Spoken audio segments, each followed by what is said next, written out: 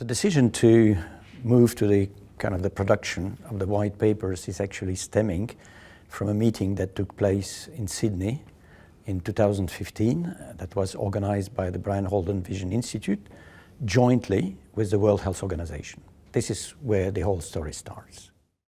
During this meeting, uh, an evidence review was performed and it became very clear, including for the World Health Organization, that myopia is representing a significant global public health problem because myopia is not only a refractive error. It's not just people who need to wear glasses. It is also about the risk of becoming blind, irreversibly blind, because of high myopia.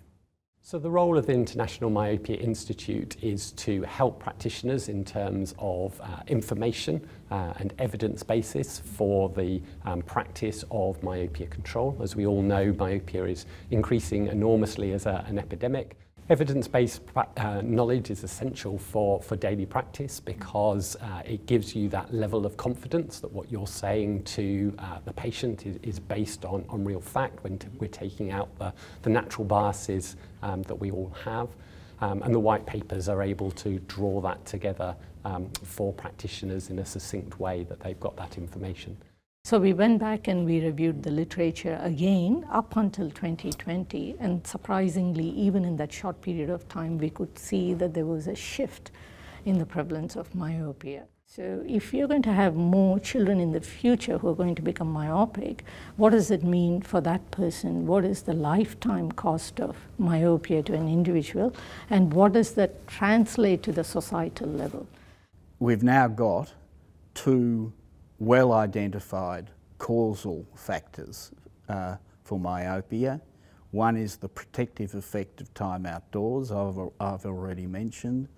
The other is the impact of schooling, and intensive schooling, particularly schooling from a, an early age, undoubtedly promotes the development of myopia. So um, there are a lot of exciting um, treatments and, and a lot of understanding on eye growth coming out of animal studies and hopefully through um, well-designed randomized clinical trials in children we can translate those findings to um, slowing myopia in children. And also uh, what we should focus on is how does atropine or other treatment uh, to myopia relates to genetics. So are there certain people with a specific genetic background do, that do or do not respond to therapy.